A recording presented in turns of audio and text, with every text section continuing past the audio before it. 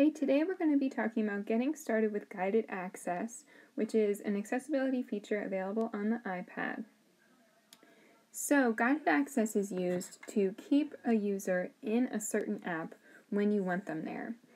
This is helpful because sometimes if you're using a communication app such as LAMP, which is on the screen right now, your student might either on purpose or accidentally X out of this app um, and we want to be able to keep them in it so that they can use it for communication.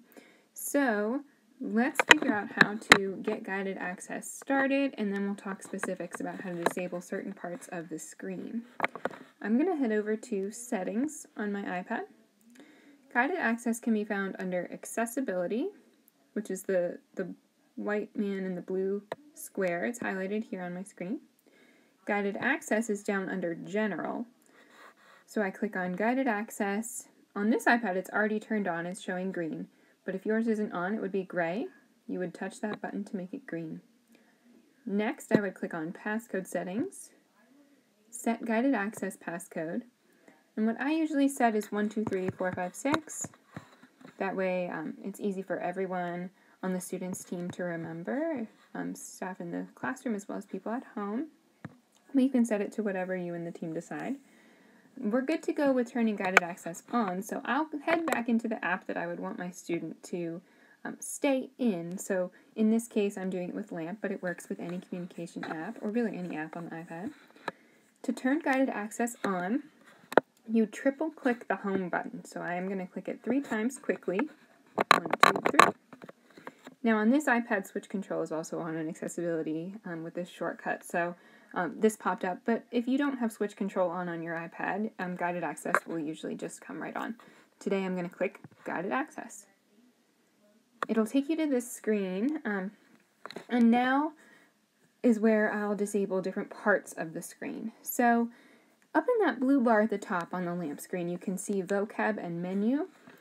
Usually I disable those with guided access because I don't want the student accidentally getting into different settings, um, different vocab builder stuff, or even accidentally switching vocabs, or even deleting a vocabulary, which can be really problematic.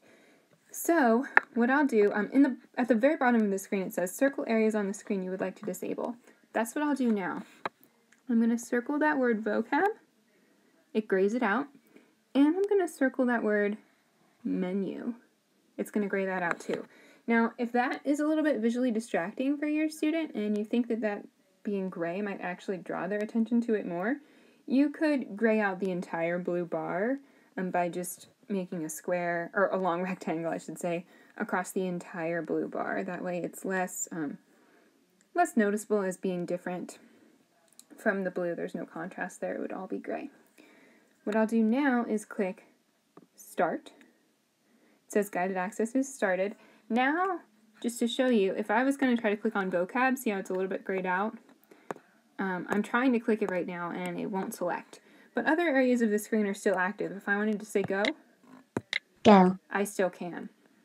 Menu, same thing, it's grayed out, so when I'm trying to click it at the moment, it will not click, which is helpful for um, keeping students just focused on their communication.